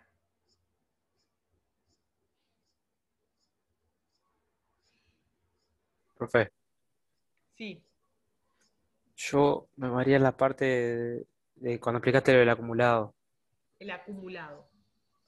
Yo también no entendí mucho esa parte, lo del acumulado. Lo del acumulado es este, una consecuencia de esta propiedad fundamental del supremo. ¿Qué te dice la propiedad fundamental del supremo? Te dice que si vos tenés el supremo y te corres un poquito, siempre hay un elemento de A que está entre ese poquito que te corriste y el supremo. ¿Hasta ahí están de acuerdo? Sí. Eso es lo que dice la propiedad fundamental. Ahora lo que yo digo es que una consecuencia de eso es que si el supremo no está en el conjunto, entonces tiene que ser acumulado por puntos del conjunto. ¿Por qué? Porque si el supremo no está en el conjunto y yo me corro uno, acá tiene que haber un elemento de A, por propiedad fundamental. Ese elemento de A no puede ser ese, porque es lo que estoy suponiendo, que ese no está en A. Entonces, por eso lo dibujé menor, menor estricto. Bueno, ahora me corro un poquito más chico que uno, o sea, me corro hasta acá. Este es S menos epsilon, pero epsilon no es tan grande como 1. Bueno, ahora en este intervalo también hay un X de A, por propiedad fundamental, que tampoco es el supremo, porque el supremo no está en A, o sea que es menor estricto que el supremo. Bueno, ahora me corro otro cachito para acá. También tengo que encontrar a alguien de A. Y si sigo así, siempre cerca, tan cerca de ese como yo quiero, pegadito, acumulándose contra ese, encuentro elementos de A. O sea que siempre va a pertenecer o está muy cerca. Están muy cerca, el Supremo no pertenece, mirá lo que dice acá, si esto si el Supremo no pertenece, tenés elementos arbitrariamente cerca. ¿Y por qué cuando diste la, la definición eh, decía S más epsilon también?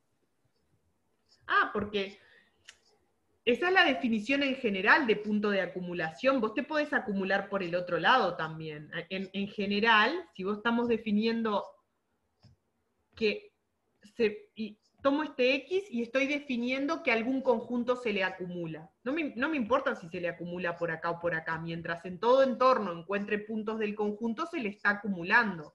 Ahora, si resulta que X es el supremo del conjunto, acá no hay elementos, porque es el supremo. Entonces se le acumulan de un solo lado. Pero eso solo si es el supremo. En general podemos decir que un punto está acumulado por un conjunto si en cualquier entorno se le meten elementos del conjunto. Ahora sí, muchas gracias. Nos vemos. Chao. Chao. Chao, ¿qué más? Profe, yo, a mí no me quedó claro, eh, entonces cuando hay tipo un, un punto aislado de un conjunto, ¿entendés? Por ejemplo, el que habíamos visto de 1, 2, eh, ese intervalo y después el 3. Claro, para que, que lo busco acá. Bueno, no lo dibujo de nuevo porque se quedó muy rayado. Por ejemplo, este conjunto tenemos un, un intervalo acá, AB, y después les, le agrego otro conjunto, otro punto acá, el C. Otro punto. Bien, ahí sabemos que el supremo y el máximo vendría a ser el C. Pero ahí el C no, es- eh, no está acumulado.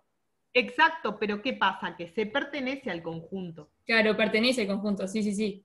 Viste que lo que yo te entonces- decía acumulado era, si el supremo no pertenece al conjunto, entonces está acumulado. Ah, bien, cuando, cuando pertenece puede ser que no esté acumulado, como en ese caso. Exacto, cuando Ah, pertenece bien, bien. puede ser aislado. Bien, está. Esa era la única duda. Impecable, muchas gracias. De nada. Profe, una pregunta. Sí. Los últimos ejemplos que dimos no completaba el axioma 10, era porque un subconjunto que sea del conjunto de los racionales tendría que tener su supremo en los racionales y no en los reales. Claro. Claro. O sea que un subconjunto de un determinado conjunto, o sea, no sé, natural, entero o reales, tiene que tener su supremo en ese mismo conjunto. Si lo tiene en otro distinto, no cumple Eso para que el conjunto verifique el axioma 10. Ah, O sea que si un determinado subconjunto de uno de esos conjuntos tiene su supremo en otro conjunto diferente, no lo verifica. Exacto, es más, R, R es el único subconjunto de R que lo verifica, porque esto fue lo que, lo que quise probar acá. Si vos a R ya le sacás un punto, o sea, con que le saques un solo punto, ya no lo verifica, porque te podés considerar el conjunto de los menores a ese punto que sacaste, y el supremo es X que lo sacaste del conjunto, o sea que no está. Ah, sí, ahora entendí. Gracias. Entonces, si vos tenés el, int- el intervalo abierto 0, 1, el, Sí. el supremo es 1, pero no verifica el axioma 10 porque 1 no es parte del intervalo. Perfecto, perfecto. De Ah, hecho, de sí. por esto que puse acá, ningún subconjunto propio de R verifica el axioma 10. O sea, ya con que le saque un punto, ya le hice un agujero. Ya eh, eh, rompí la continuidad, ¿entienden? Con que le saque un punto ya no se verifica el axioma, porque los menores a ese punto tienen el supremo fuera del conjunto.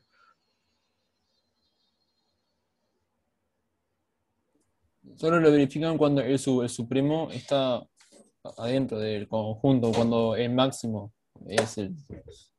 No, no, el- no. Está, pero cuando, cuando tiene máximo y ese, y ese supremo verifica el, el axioma, el, el- axioma 10, porque significa que el supremo es parte del, del conjunto. No, no. Ah, bueno. Claro, ya te entendí. A ver, a ver, creo que te entendí. Si vos me decís esto, por ejemplo, si yo considero el intervalo AB como un conjunto en sí mismo, el intervalo Claro. cerrado AB. Esto me está Ahí, claro, ahí el, su, el, su, el supremo es B, que está adentro del conjunto, y también es el máximo. Sí. Es- Y verifican el, la- y ahí también verifican la cosa es, el el inter- la pregunta es, ¿el intervalo AB verifica el axioma Sí, 10?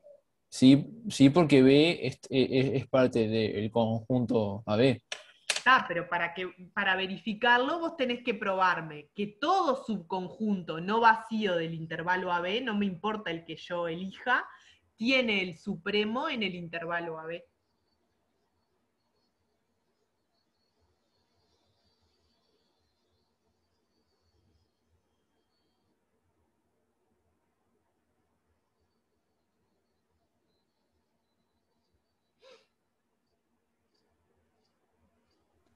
Chao, profe, gracias. Chao. Profe, ¿podés subir un segundito a la parte de la conclusión que me faltó copiar algo?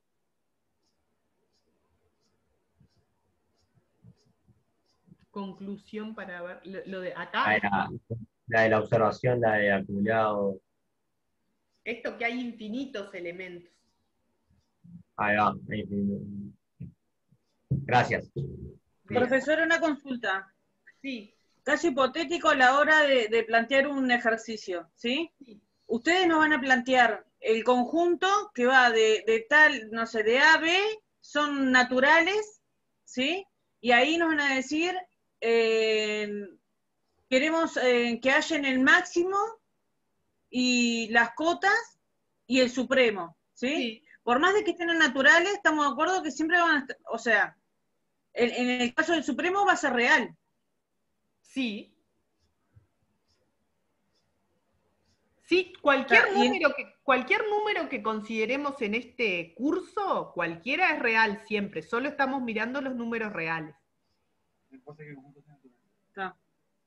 El O conjunto, sea que no importa que el conjunto sea natural. el conjunto de los naturales está contenido en los reales. O sea, cualquier n que vos te tomes pertenece a los reales. No, yo sé, pero yo, por ejemplo, no sé, un bolazo. Pero vamos a suponer que es el conjunto del 1 al 3, como hoy, ¿sí? Pero y, solo de y aparte... ¿Solo de naturales? Sí, natu- Ah, sí. el Y al aparte tiene, como hicimos hoy, que había, eh, o sea, era creo que del 1 al 2, vamos a suponer que ahora es del 1 al 3, y tiene una unión con el 5. Perfecto. O sea que es todo esto y además el 5. Todo eso es natural, más allá de lo que haya en el medio, que, No, no, que acá, hay, acá es hay que no son naturales. Acá está el un medio, por ejemplo, que no, es No, natural. sí, sí, ya sé, pero a lo que voy es que a la hora de evaluar el, el conjunto este, es natural. Y no. O sea, es el 1, el 2, el 3 y el 5. ¿Y O sea, del me 1 al está- 3, No, pero ¿por qué me está sacando el un medio si vos me dijiste que en el conjunto estaba todo lo que está del 1 al 3 y aparte el 5? O sea, si tu conjunto A es el intervalo 1, 3 y además el Sí. 5, entonces el un medio pertenece a A. O sea que no, el un medio no, perdón, el 1 más un medio. El 1 más un medio pertenece a A. Y ese no es natural, no pertenece a N. Es el 3 medios, de hecho. sí, pero no entiendo. ¿Y qué, qué parte? A ver, no entiendo tu duda. Seguro, cuando, cuando tú haces los ejemplos así con números, más o menos yo voy entendiendo. El tema es que cuando, le- en- obviamente, lo, lo explicás gráficamente con, con letras y con símbolos, ahí me mataste. Ah, bueno, eso es con práctica. Práctica y leer, práctica y leer. Ah. O sea, si vos me decís, "Ah, yo, yo entiendo cuando vos me pones, por ejemplo, el, el intervalo 1-3, pero no entiendo cuando me pones el intervalo AB, ¿está? ¿Cuál es la diferencia? Y que A y B pueden ser cualquier número real, es que, es que esto está fijo y esto es variable. Entonces vos ahí el- el- lo que tenés que entender es que hay eh, el concepto de variable, o sea que cuando yo pongo un X, puede tomar el valor que a mí se me antoje. No, no, no tiene que ser ni uno, ni dos, ni un medio, ni ocho. Es lo que yo quiera, cualquier X de R. Bien. Ta. Profe, somos dos en esta clase, somos una pareja estamos haciendo el curso juntos. Buenísimo. Yo creo que la duda de ella viene cuando ella define, quiere definir ese conjunto 1, 3, de 1 a 3, unión 5, Sí. y lo quiere hacer por eh, extensión, no, no por comprensión.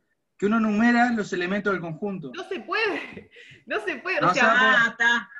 Ah, el, el intervalo 1-3 abierto no se puede dar por extensión. ¿Por qué? Porque son no numerables elementos. ¿Por qué? Porque R es continuo, verifica el axioma de completitud. O sea, no se puede, yo no te puedo dar una lista X1, X2 de elementos que están en el 1-3. Hay infinitos, no solo que hay infinitos, hay infinitos no numerables. Ni siquiera te puedo dar una sucesión que me cubra todo el intervalo. Ah, Entonces entendí, la idea de, de darme los números naturales del 1 al 3 es para definir el conjunto, el resto siempre son reales.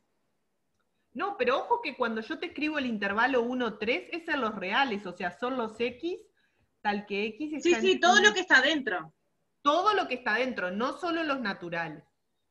Está bien. y todo lo que está dentro, todo lo que está dentro no se puede enumerar. ¿tá? Es- es- eso hay- habría que Sí, probarlo, pero no se puede. O sea, no te puedo dar. Es una infinito en ese tramo.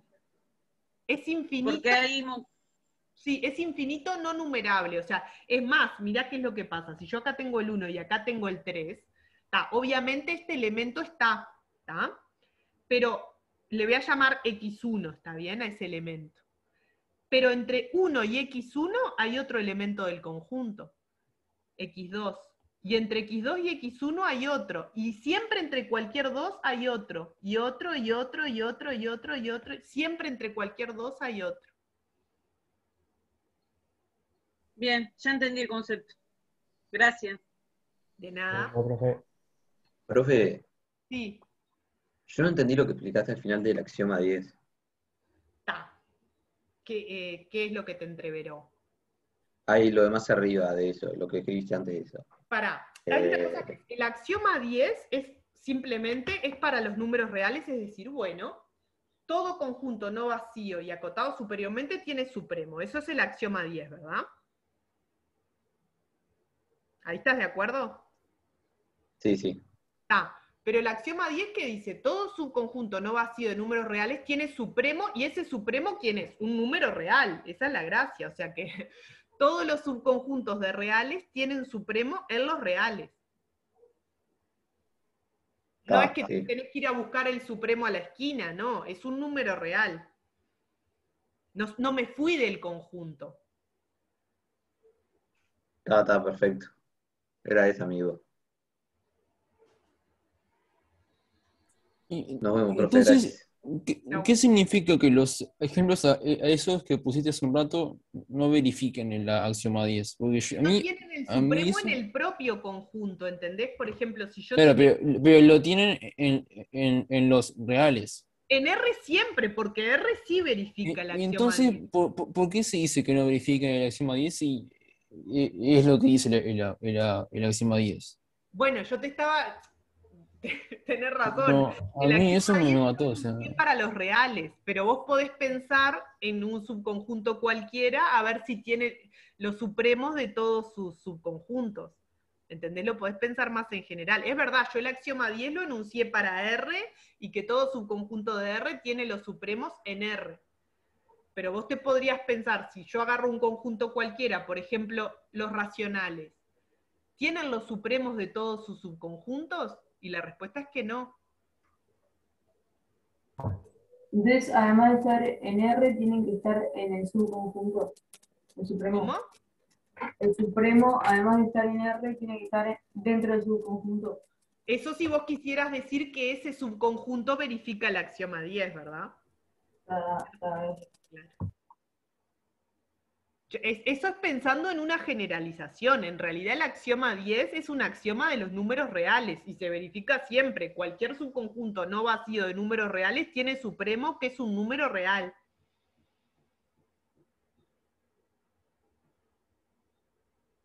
Y con los racionales tendría que ser que el supremo tiene que ser un número racional. Claro, ¿Y cuál es el caso que no? E- Eso sabemos Para- que es falso.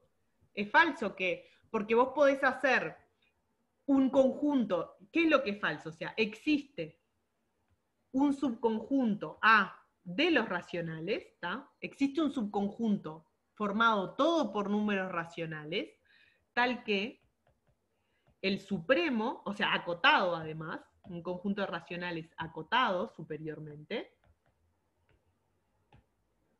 tal que el supremo del conjunto A, que existe en R, ¿está bien? Esto existe en R por el axioma 10, ¿está bien? El supremo de A no pertenece a Q. O sea, yo puedo hacer un conjunto de números racionales cuyo supremo sea un irracional.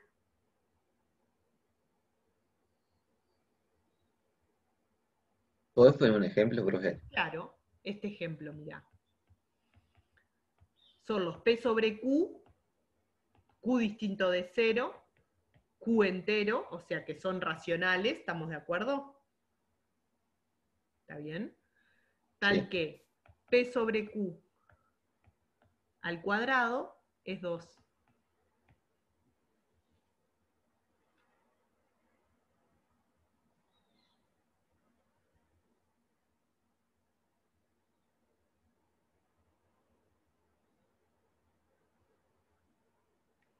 ¿Tá? Yo digo que el supremo de este conjunto es raíz de 2, que está en R, pero no pertenece a Q.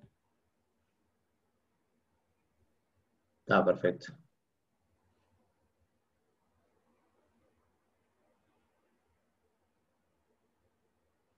Obviamente que en los reales todos los conjuntos acotados tienen supremo, porque eso es lo que dice el axioma 10. O sea, en R sí tienen supremo, es raíz de 2, pero no está en Q. Está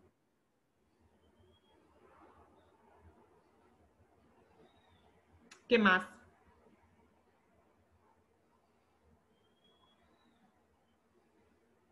¿Cortó?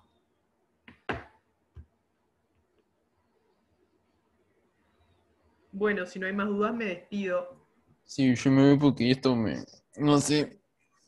Pero me parece que me secó el cerebro esto. No te preocupes, no te preocupes porque, o sea, fue difícil y fue entreverado. O sea, yo ahora cuando agarro las notas las depuro, las, las dejo bien concisas y después si querés repasar cualquier duda me preguntan, ¿está? Me quedó entreverada la clase de hoy.